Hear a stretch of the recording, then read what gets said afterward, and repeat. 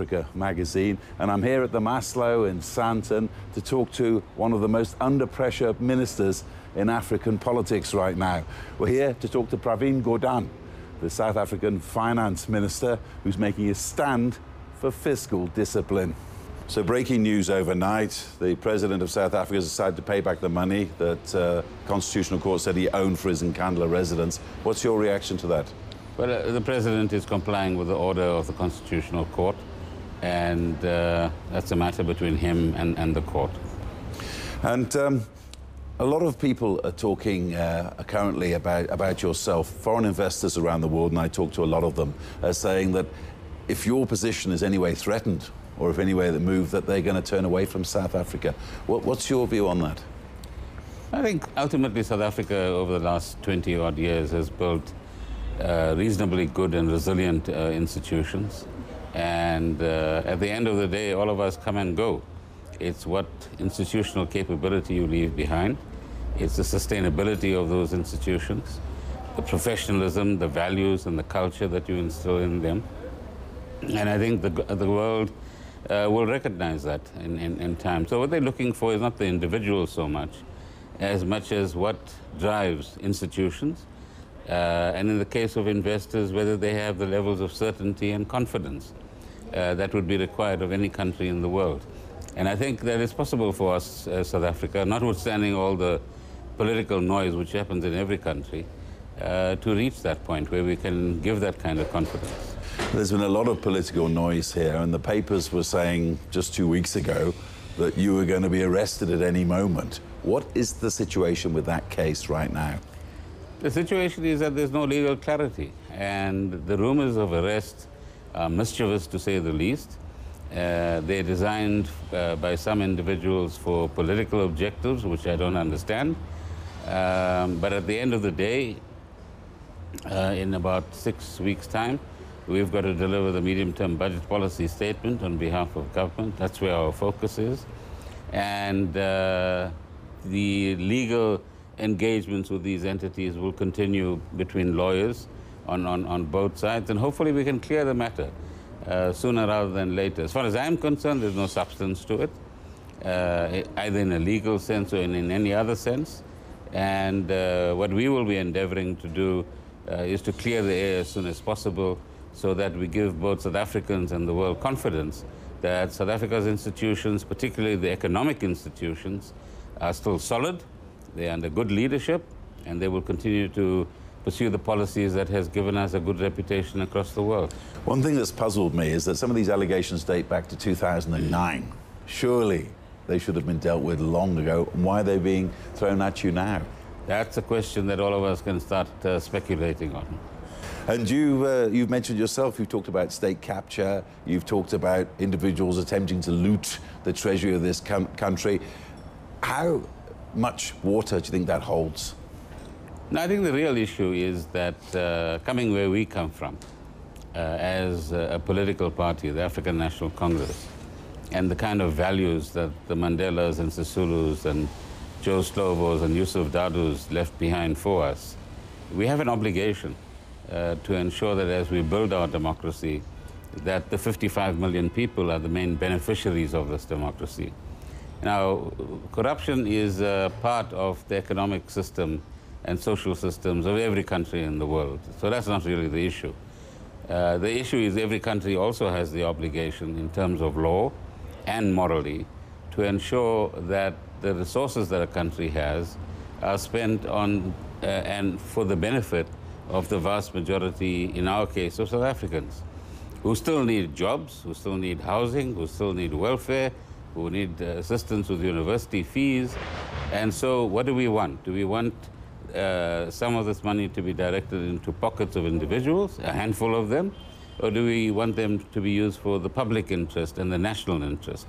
And I think that's what this debate is about. And it's a good debate uh, because it helps South Africans to understand how these systems work, what are some of the implicit dangers in, in what's going on at the moment, and how they need to prepare themselves to guard their democracy and to nurture their democracy and to nurture the right institutions um, so that public funds are spent, as I said, for the public at the end of the day.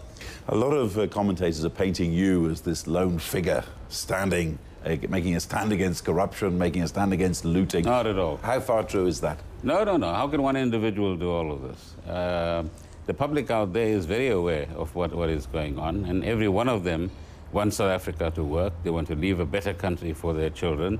Uh, they want government to be effective in, in what they're supposed to be doing.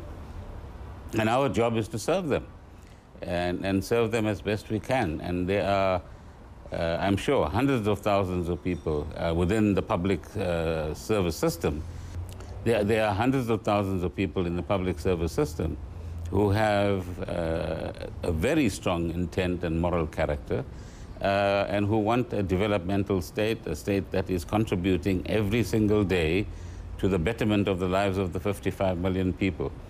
I just happen to have a particular job that requires me to implement provisions of the Constitution and other pieces of legislation. Tomorrow there could be another individual in this chair, and he or she will have the same obligation because the, the, the Constitution is still there and the laws are still there.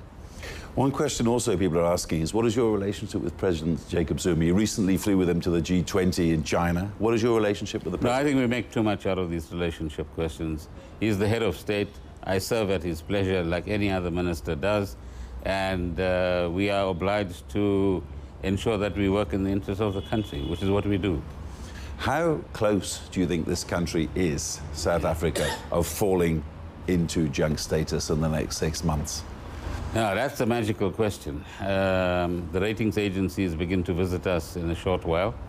And uh, we worked very well with business, labor, and other constituencies in the first half of the year.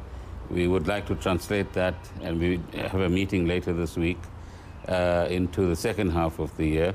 And uh, we would like as many role players in South Africa as possible to join us uh, in this uh, uh, venture because it's quite crucial to keep ourselves at the investment grade level.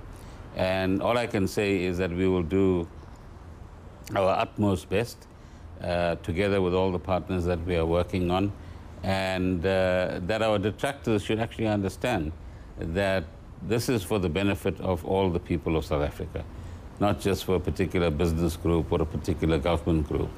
And uh, we've got to embrace a lot more keenly uh, the national interest and, and, the importance of keeping ourselves as an attractive destination uh, for investments, both portfolio investments and fixed investments. Uh, because that's the way in which we can assure the young people of South Africa that they have a future here. You promised in February to get the budget deficit down to 2.9% by the end of 2017 2018. How is that very difficult job going? It's tough because the growth is lower than we predicted uh, at 0.9 in February. Uh, that will have an impact on the revenue situation. So in six weeks' time, we'll give you the numbers as we, as we understand them uh, going, going into the future. But it's going to be a tough call. Uh, however, government is very committed to keeping its uh, fiscal commitments, as we've always done. And uh, hopefully we can do that again. A lot of people are still saying perhaps you should uh, take perhaps a bigger axe uh, to things like civil service and public spending, particularly SAA, the um, loss-making national airline. Uh, what but, do you But say? remember, at the moment, all we're doing is giving a guarantee to SAA. We're not putting cash into it. When, when there's a proper management team and a proper strategy available, we'll have to capitalize SAA like we capitalized Eskom, for example, last year uh, to some extent and uh, ensure that it now has a viable path in, in front of it. So what, what is right about what you say is that budgeting is about choices. It's about prioritizing certain things and asking certain things to wait uh, for the future. So we should be aware as a country that uh, our, our situ fiscal situation is a tighter one and it will require more tough choices to be made. We've made them in the past when the recession hit South Africa in 2009-10, uh, and we'll do what is necessary again. What about a change in leadership, change in chairman at SAA? Wouldn't that help? We have is a new board, and uh, I think as a team, they represent uh, many different skills, and if they knit together, the chairperson is a chairperson. Uh, and she's there for a year to ensure that there's a proper handover between the past and the future. Uh, but far more important is a competent management team, confidence within the airline itself, uh, amongst the cabin crew, amongst pilots, amongst uh, their customers and their ground staff. Uh, and all of that is possible in the next six months if everybody is mature about what uh, we have in front of us and understands their obligations. Uh, both to the airline and to the country as, as a whole as well. What about privatization of SAA? Would that not help? No, the P word we don't use in South Africa. What we have said in the budget is that once we've stabilized uh, the situation, we will look at a minority equity partner. Uh, but we have a lot to do. A turnaround strategy, a consolidation strategy, a financial strategy, uh, a new approach in terms of where does SAA travel and not travel, uh, which are the loss-making routes, which are the profitable routes, how do you balance them out at the end of the day. So the work is cut out for the new board, at least for the next 18 months or so. I'll ask one final question. A lot of people around the world are asking what's happening in South Africa. We have ministers appear to be conflicting with each other. There's a lot of uncertainty in the leadership of the country. What would you say to foreign investors from here to the United States?